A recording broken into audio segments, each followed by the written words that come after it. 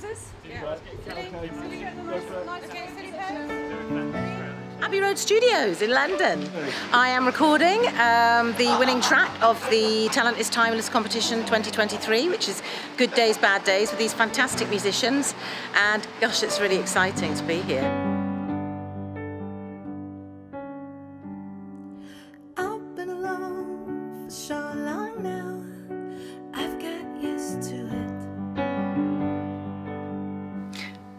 Talent is Timeless, our message is that it is never too late.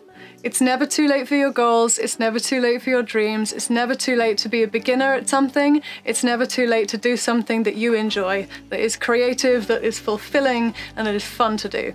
I've come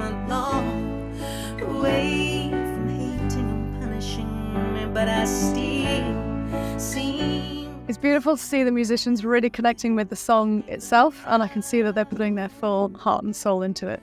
They've been very generous. You know, they mm. haven't tried to take over. They're just their their whole commitment is to the song, and to, for it to be as good as possible. And that's always fantastic when you, there's that kind of generosity amongst all the musicians to make the song sound as, as good as it can. You know. I think that's what it takes to make that magic. They all have the ability to step back and listen to what serves the song, not so much what can I play on here, but how is this serving the whole of it and how is it coming together and supporting your story and your voice and your sound.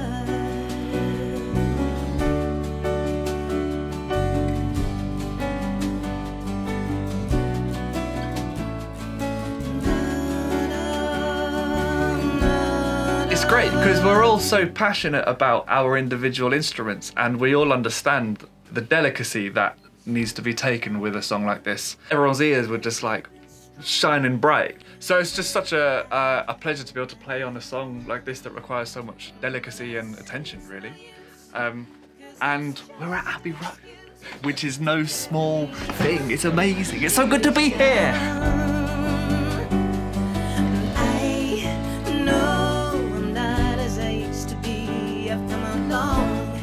Long way from hating and punishing me, but I still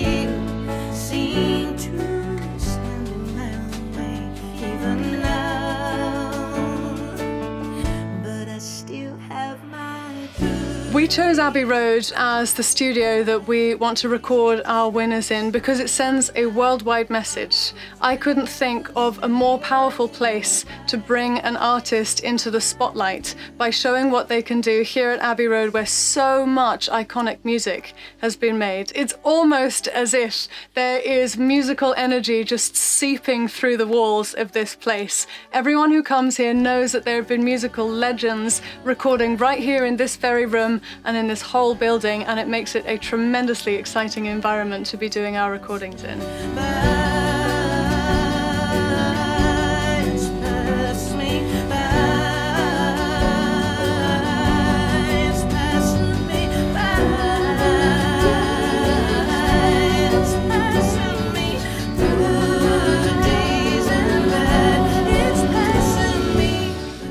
We're trying to do is encourage artists who are over 50 to come into the music industry and join us here. There's no reason why you can't. Everybody feels vibrant at every age, and you never really think you're going to get to 50 anyway. And I do, you know, hope that the fact that I've taken it on and that I'm kind of being proud about it and sharing it, um, that it will give other people the feeling that, yeah, I can still follow my dreams, whatever they might be at my age.